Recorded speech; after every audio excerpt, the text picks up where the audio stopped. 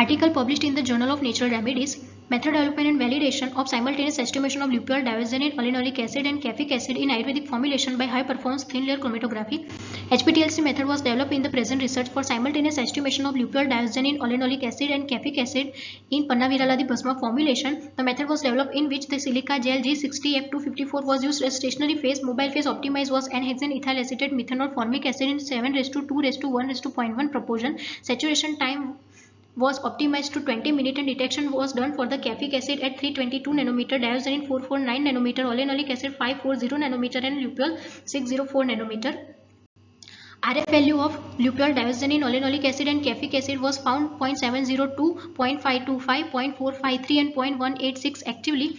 The developed method was validated using the various parameters in which the linearity was found with the correlationship coefficient of lupeol 0.9964, diosgenin 0.9945, oleanolic acid 0.9989 and caffeic acid 0.9997.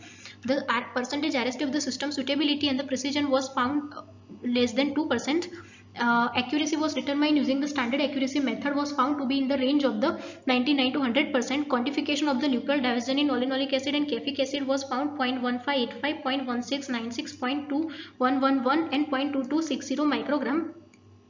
Robustness study was performed using the two-level fractional factorial design taking the eight experimental run in which the independent variables were selected as a ethyl acetate and hexane saturation time and solvent front and dependent variable was selected as a retardation factor.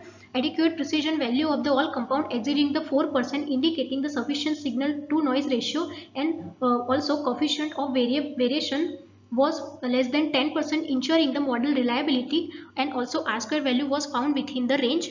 Uh, from the taking the various trials and using the Pareto chart and response surface plot, it was observed that lupeol diosgenin retardation factor not significantly affected by variation factor but uh, N-hexane volume had a significant impact on the oleanolic acid and caffeic acid robustness in uh, conclusion, proposed HPTLC technique were discovered to be a precise, accurate and reproducible.